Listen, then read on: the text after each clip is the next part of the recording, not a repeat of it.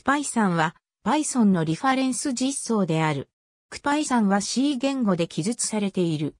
クパイさん以外に製品としての品質を持つ Python 実装は Java で記述された JISON 共通言語ランタイム用に記述された IAMPython の2つがあり、またいくつかの実験的な実装もある。クラシック Python というバクロニムが C の別の意味として提案されている。クパイさんはバイトコードインタプリタである。C を含むいくつかの言語での外部関数インターフェースを持っており、Python 以外の言語の言語バインディングを明示的に書く場合に使用される。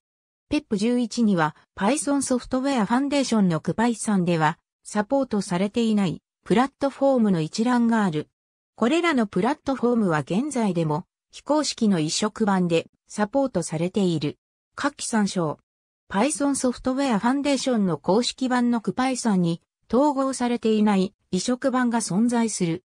移植版には PSP 用のグラフィックスやサウンド API や S60 用の SMS やカメラ、API などのプラットフォーム固有の機能のための拡張モジュールが提供されることが多い。マルチプロセッサのコンピュータで CPython を用いる際の大きな問題は、各 CPython インタプリタのプロセスが持つグローバルインタプリタロックであり、これがプロセス内の Python スレッドの並列性を損なってしまう。マルチプロセッサ環境で完全な並列性を実現するためには別の Python プロセスを動作させる必要がある。